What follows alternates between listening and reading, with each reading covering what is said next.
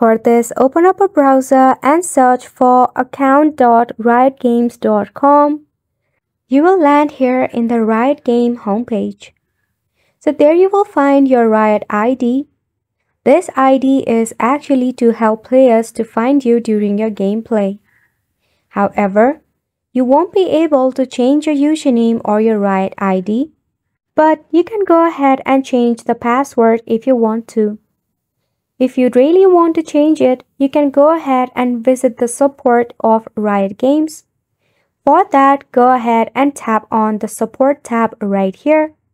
Then you'll be redirected to a new tab of Riot Game support.